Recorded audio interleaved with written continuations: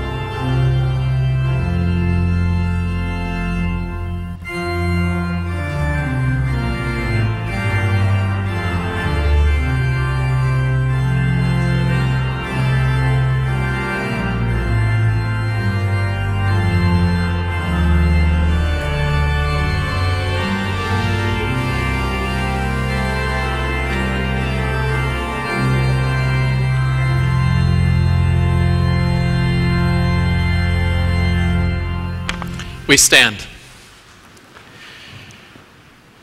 In the name of the Father, and of the Son, and of the Holy Spirit. Amen. O Lord, open my lips, and my mouth will declare your praise.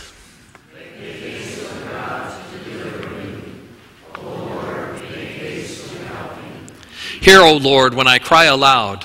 Be gracious to me and answer me.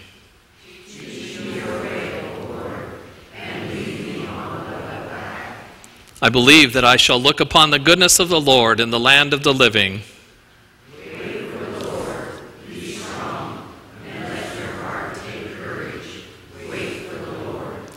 Let us now confess our sin to God, our merciful Father. Gracious God, we admit and confess our sinfulness. We know well that we are by nature sinful and unclean. Morning, noon, and night we have done things we ought not to have done, and have not done that which we have been, been doing as your faithful servants. We have neglected the salvation you so graciously have provided for us.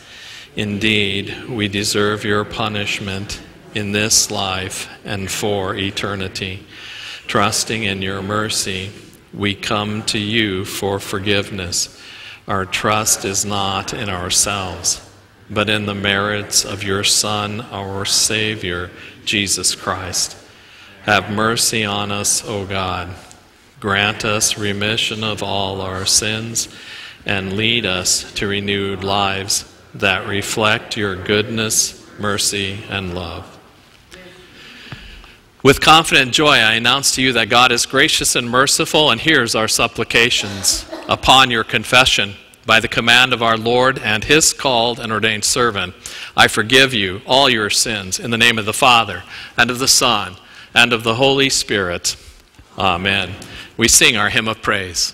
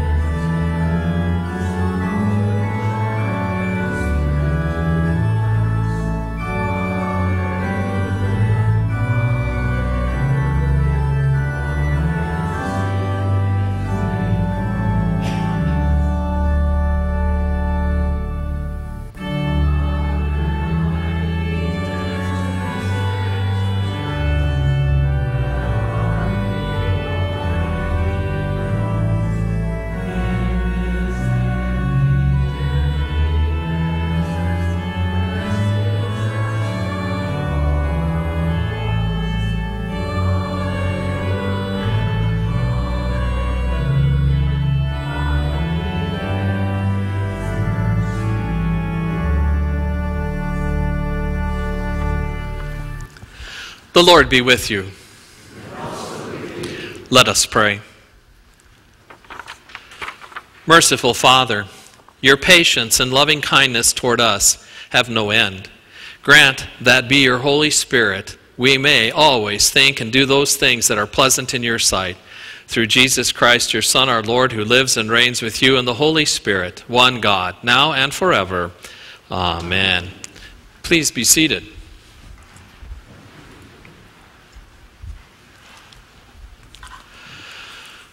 Our Old Testament lesson for today comes from Genesis chapter 2.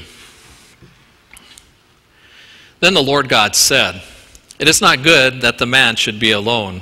I will make him a helper fit for him.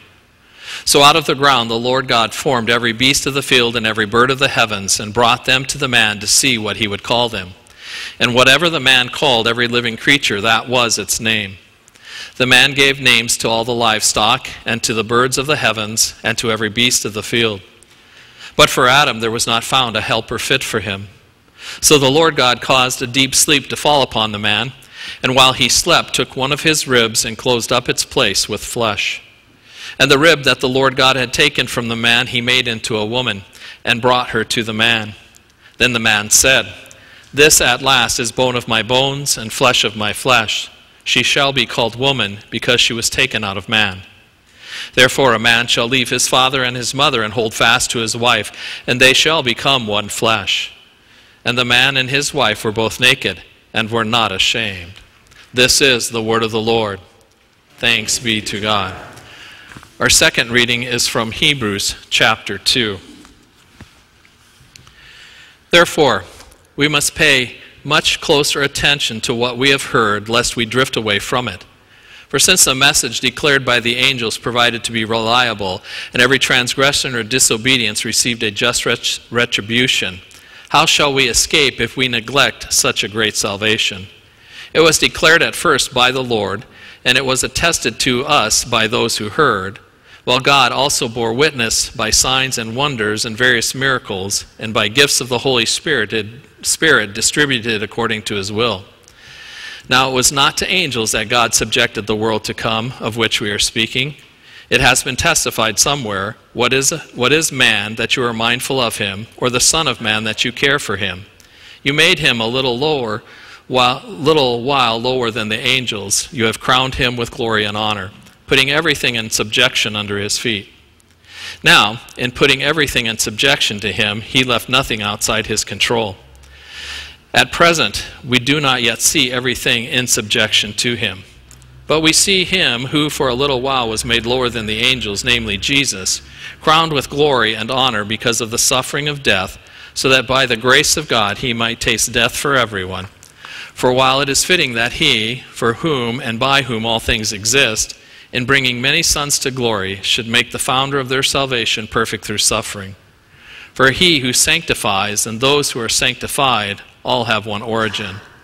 That is why he is not ashamed to call them brothers, saying, I will tell you of your name to my brothers. In the midst of the congregation I will sing your praise.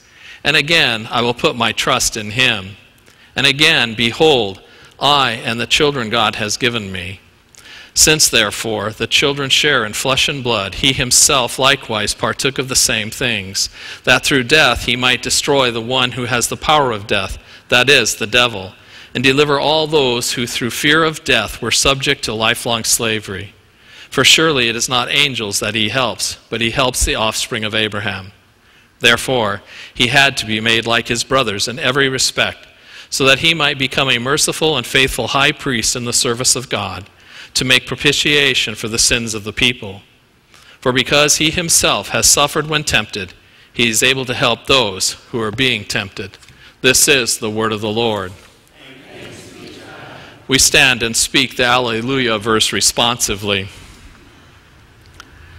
Alleluia, Alleluia, Lord, to whom shall we go? You have the words of eternal life. Alleluia, Alleluia. The Holy Gospel according to St. Mark, the 10th chapter. The Pharisees came up and, in order to test Jesus, asked, is it lawful for a man to divorce his wife? He answered them, What did Moses command you?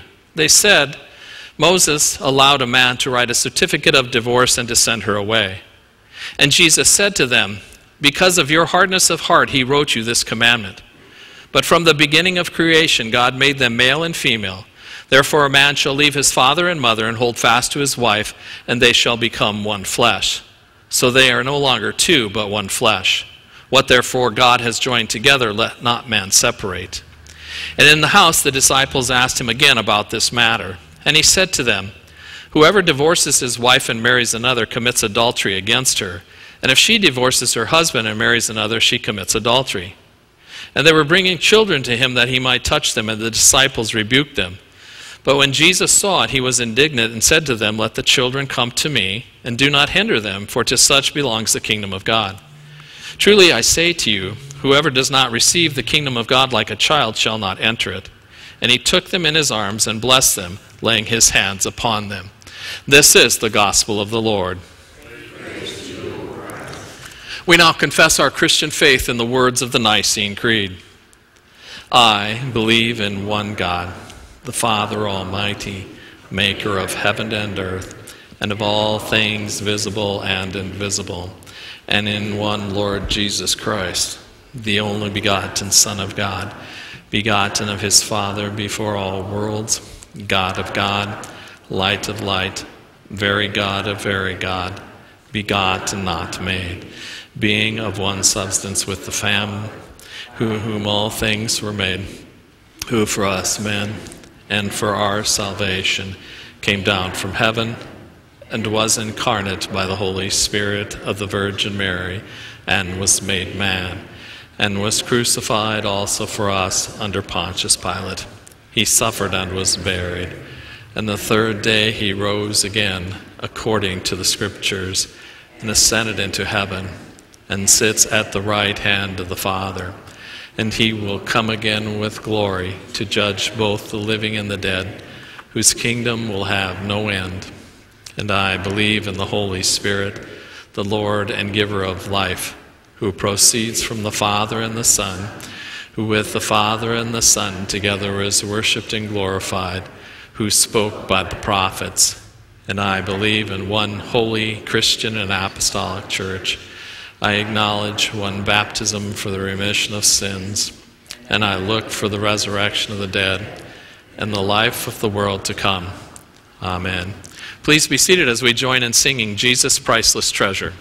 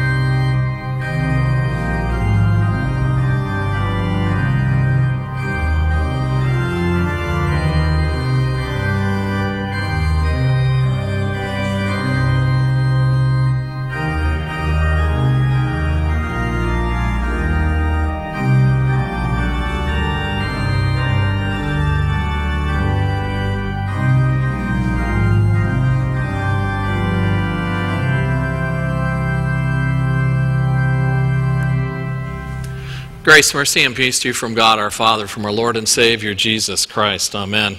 Our text for our meditation today comes from our gospel reading from Mark 10. It was read a few moments ago from the lectern, Dear Friends in Christ. The question of marriage and divorce is what first meets our eyes when we read this text and we heard it read this morning. To be sure, the Old Testament lesson for today also attests to that. The epistle lesson from Hebrews, however, it adds a new perspective to the text for us to look at. It clearly states that disobedience of God's law has consequences, and no violator shall escape any kind of judgment. It also announces our salvation, perfected through Christ's suffering and death on the cross, where he paid the price for our sin. So, in our text today from Mark, Jesus had been teaching and he had been performing mighty works and, and demonstrating to those who were crowded around him. And this was a, a, a, thing that was going on all the time where Jesus was at. The crowds were all around, and he was teaching that the kingdom of God had indeed drawn close. The Pharisees they've been habitually looking for some way and some opportunity to put Jesus to the test and then to trap him in his own words.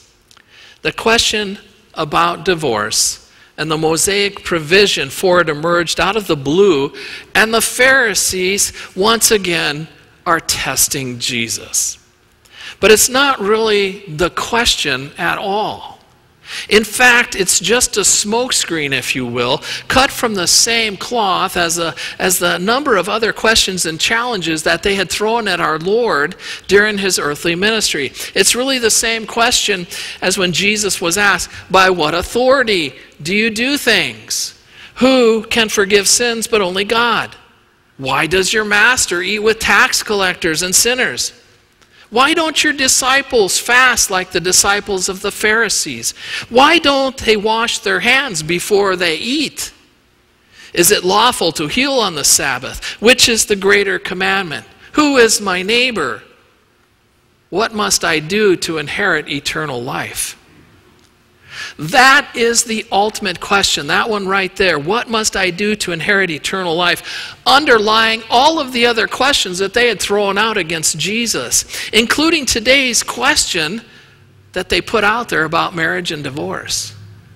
How does one enter the kingdom of God? How does one become right with the Almighty? It's sort of the same question which John the Baptist asked while he was in prison and awaiting his execution. He, he says, Are you the one who is coming, or do we look for another? In the long run, it is, more, it is a more important question, one with eternal implications, more important than the question about marriage and divorce. For that one, as Jesus well knew, deals only with symptoms. It only deals with symptoms without getting to the heart of the real question. Jesus answers these Pharisees and, and comes to them, and he says, You receive everything in childlike faith. It's a little play on words here when we look at this. If you look really closely at the text, it shows that this is so, this play on words. When the Pharisees posed their question to Jesus, it's really quite interesting how they did it. They said, Is it lawful? Or is it permitted? And this is now referring to the law in their experience, that law of Moses, the Torah, the holy law of God. And they put it out there. Is it lawful for a man to divorce his wife? And Jesus counters their question then with his own question. He turns it back onto them and he says, What did Moses command you to do? And they said, Moses allowed. And right there, they had ducked the question. Jesus didn't ask, What did Moses allow? He asked, What did Moses command?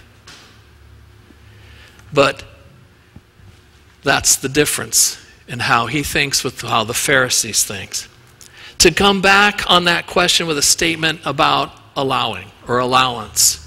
Jesus went on simply as to show that you folks and we folks shows that we are all sinners, and they were all sinners. As he says, for the hardness of your heart tells us that we are sinners. What Moses commanded in the Torah, we read in the scriptures today in the Old Testament lesson. Therefore, a man shall leave his father and mother and hold fast to his wife. In other words, as Jesus went on in this discussion and in this situation, what God has joined together, let man not separate, he says. To do so, no matter what Moses allowed for the hardness of your heart, is sin. It's breaking what God has specifically commanded. To show that this is so, Jesus went on in actual terms of the Ten Commandments then and used its language, adultery. Let's call it what it is, he said, and let's get it down to basic sin against God. Just as the Sermon on the Mount, he called out lust of the heart of adultery and he equated hate with murder and, and, he, and he insulting someone else, he said, was slander and taking an oath uh, um, of any unnecessary or, or deceitful kind of anything as taking God's name in vain. Let's call it what it all is it's sin. And we need to stop referring it to anything else. It is sin. Right after this incident, then in Mark's gospel, our gospel lesson for next week, we'll hear about the rich man. The rich man comes, whom eventually Jesus tells him to sell everything and give it all to the poor. And when the, the man balked at that, he turns away from Jesus and walks away.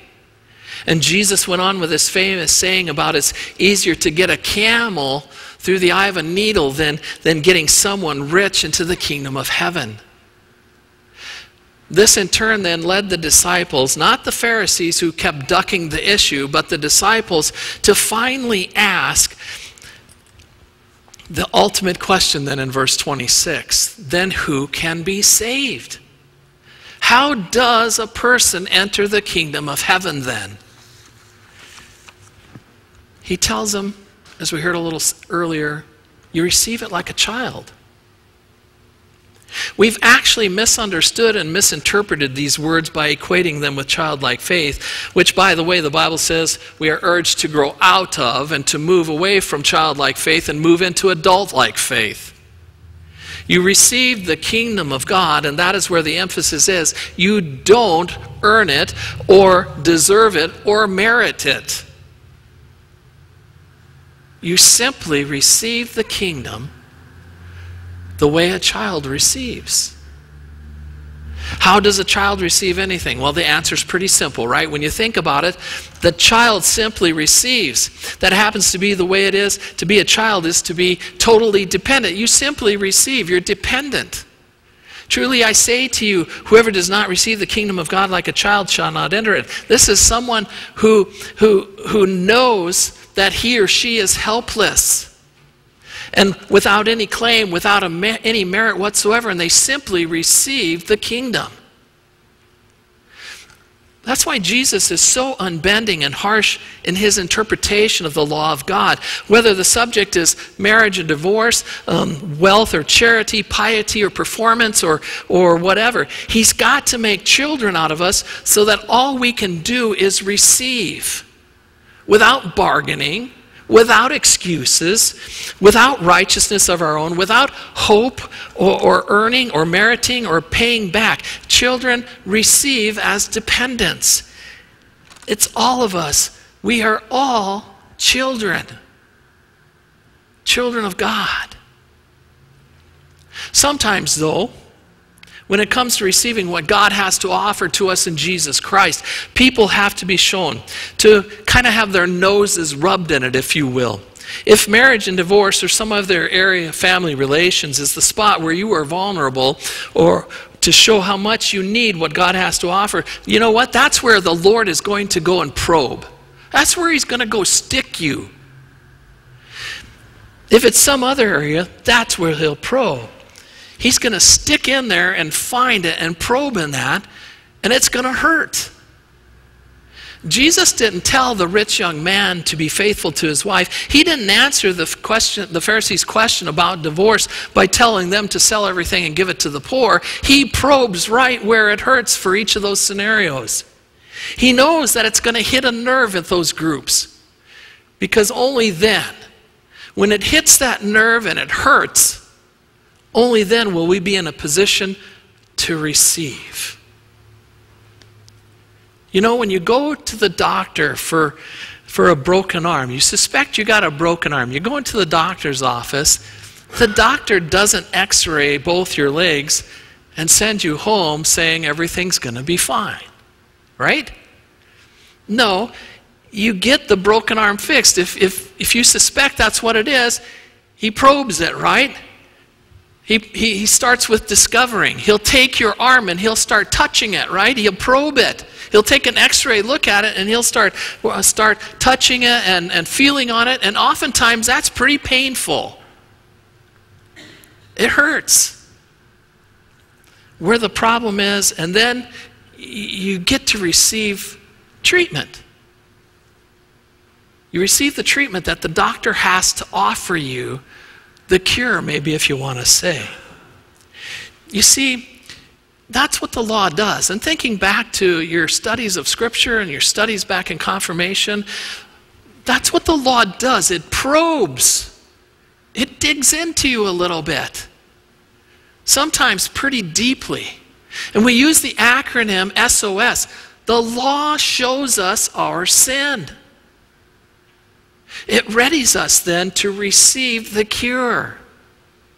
That cure is the same acronym again, acronym again, SOS, it shows us our Savior. The cure. What a wonderful cure that is. The Savior. Scripture spells it out. We see Jesus, the Jesus who suffered death for each and every one of us, who became one of us. Remember, at Christmas time, we say He's Emmanuel, God with us. He came and, and to be one like us and be with us. He didn't try to worm out of it when He, when he was condemned to death, right, uh, as a sinner. And, and the one condemned to death, He tasted death for everyone then. He paid the price. The Son of God became like a child. He became our brother. His childness was demonstrated to be perfect through all of his suffering. The second lesson tells us totally dependent on the will and the power and love of God, all the way to death. He died for our sins, for our sins in and out of marriage for our sins with respect to money, for our sins with regard to slander and coveting and interpersonal relationships, and, and our sins with direct relationships to God Himself. He became a child, our brother, to bring us as children to our Heavenly Father.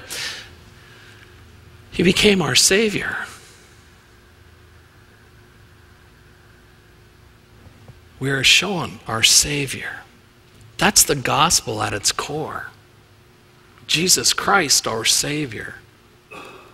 Cutting through all of the deception and getting right to the heart of the matter, Jesus tells us how it works. He's very clear here. You enter the kingdom of God by receiving it like a child. Whatever it takes to get you to that point, He's going to provide it. And even when it hurts, and even when it makes you squirm, whatever area you pick, Jesus is going to show you the problem. And Jesus is going to call it by its name sin. And he's going to keep doing it until you finally cry out, Uncle. Or better yet, you cry out, Father. Father in heaven. Then, when that happens, you're ready to receive like a child the kingdom of God. Whoever does not receive the kingdom of God like a child shall not enter it. Jesus was so determined that we enter it that he laid his life on the line. To make it so, he became our brother so that you and I would become like children. We would then become children of God. Jesus didn't come into the world to abolish or destroy the law, but he came to fulfill the law for us. His coming into this world under the law and becoming sin before God in our place helps us answer that ultimate question What must I do to inherit eternal life? Your eternal life comes when you receive it like a child. And Jesus is the one who makes that happen. He uses the law to show us our sin and ready us then to see Him, the Savior, who gathers us into His arms and brings us into His kingdom. Amen.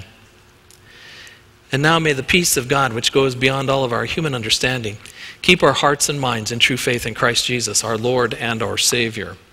Amen.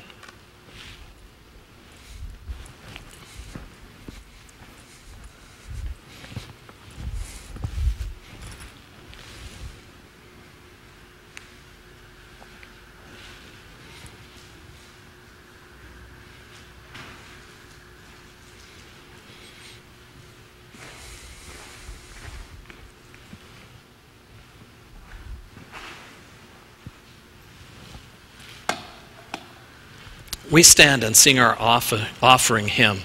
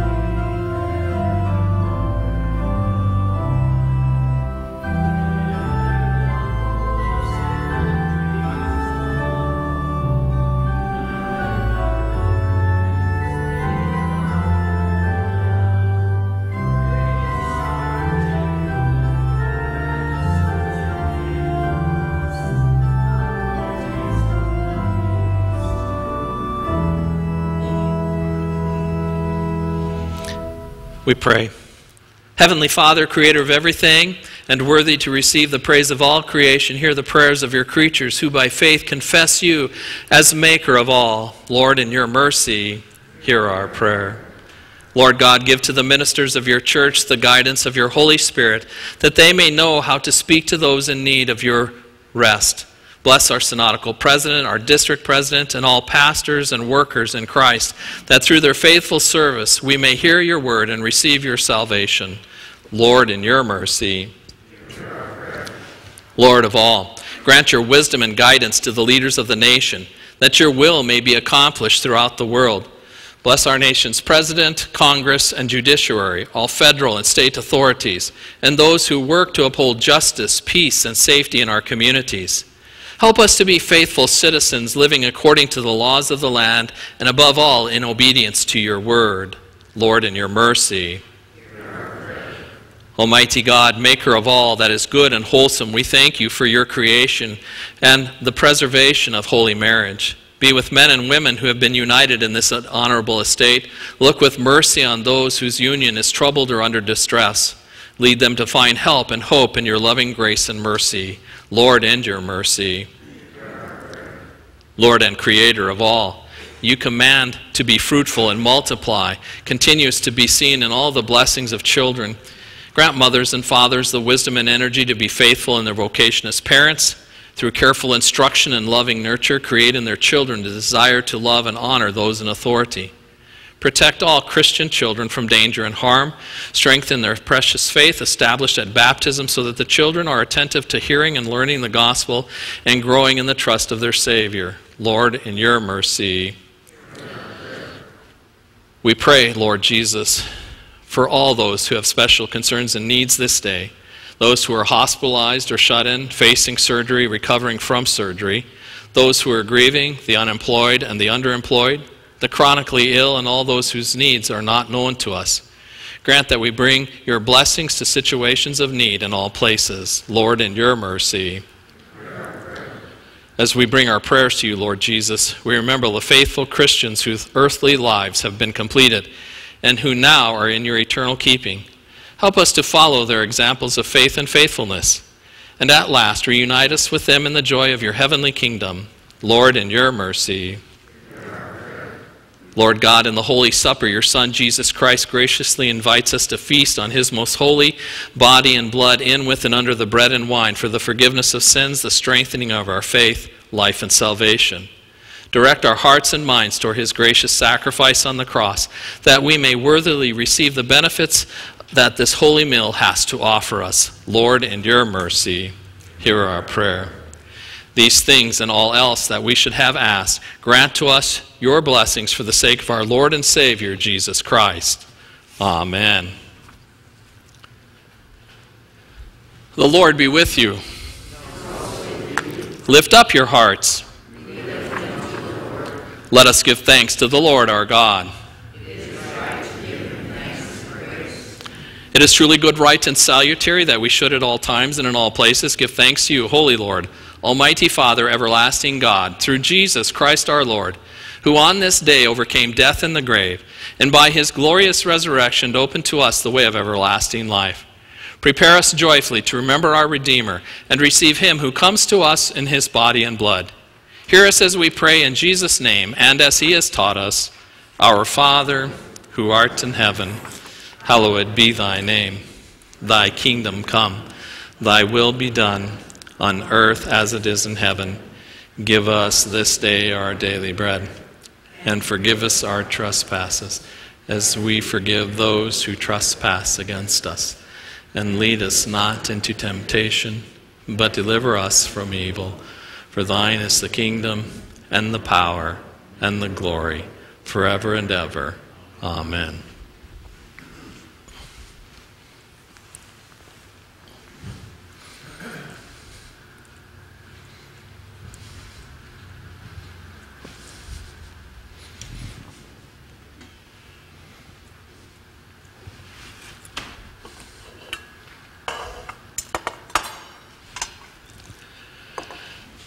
Our Lord Jesus Christ, on the night that he was betrayed, took bread, and when he had given thanks, he broke it and gave it to his disciples and said, Take and eat. This is my body, which is given for you. This do in remembrance of me. In the same way, also, he took the cup after supper, and when he had given thanks, he gave it to them, saying, Drink of it, all of you. This cup is the New Testament in my blood, which was shed for you for the forgiveness of all of your sins. This do as often as you drink it in remembrance of me. The peace of the Lord be with you always. Amen. Please be seated.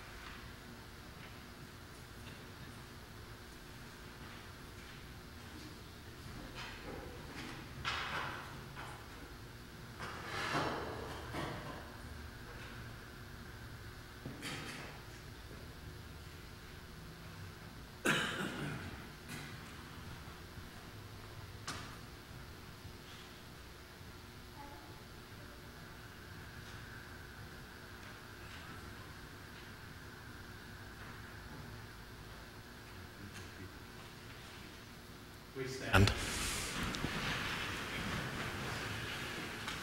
And now may this true body and blood of our Lord and Savior, Jesus Christ, strengthen and preserve you in true faith to life everlasting. Peace be with you. Amen. We'll give thanks to the Lord, for he is good. Let us pray. Almighty God, Heavenly Father, we give thanks that you have refreshed us with the body and blood of your dear Son, Jesus Christ. And we pray that this heavenly food which we have received will strengthen our faith, that we may bear all crosses, sickness, and trials with patience, and trust until you grant us deliverance, peace, and health. Through Jesus Christ our Lord, who lives and reigns with you in the Holy Spirit, one God, now and forever. Amen. Let us bless the Lord. The Lord bless you and keep you. The Lord make his face to shine upon you and be gracious to you. The Lord look upon you with his favor and give you his peace. Amen. Please be seated as we sing our closing hymn.